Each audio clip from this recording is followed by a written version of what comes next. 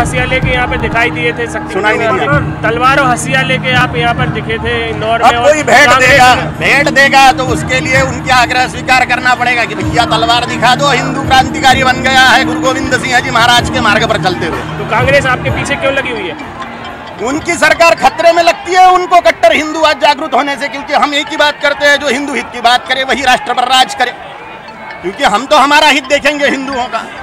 उनको स्वार्थ साधना है। हम हिंदुओं का स्वार्थ साधेंगे। गुरु महाराज खरगोन में रामनवमी के जुलूस पर पथराव हुआ है और तो- सांप्रदायिक हिंसा हुई है। क्या कहेंगे इस तरह की घटनाओं को लेकर आप? ये तब तक के होता रहेगा जब तक के कट्टर हिंदुवादी राजा बैठते नहीं पूरी तरह से शासन में। अभी तीन ही लोग हैं मोदी जी योगी जी शाह जी।